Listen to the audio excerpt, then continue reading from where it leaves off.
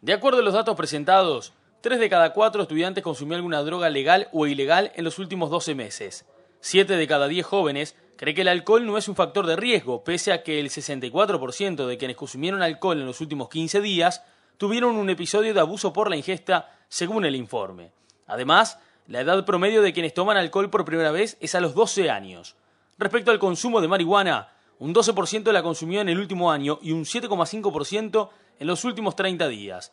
El informe también señala que de cada 10 estudiantes que probaron esta droga, más de la mitad continúa con un consumo habitual o frecuente. Respecto a otras drogas como la cocaína o la pasta base, el consumo es prácticamente marginal y se refiere únicamente a consumo experimental.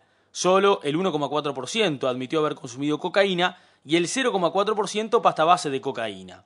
Mientras tanto, continúa bajando el consumo de tabaco en los adolescentes. Si bien es la segunda droga usada por los jóvenes, su uso ha caído en picada desde el año 2003. Ese año la prevalencia era de 40,8%, cifra que bajó a 30,9% en el 2007. Respecto al sexo de los fumadores, las mujeres son quienes más consumen, un 21,6% frente a un 18,4% de los hombres.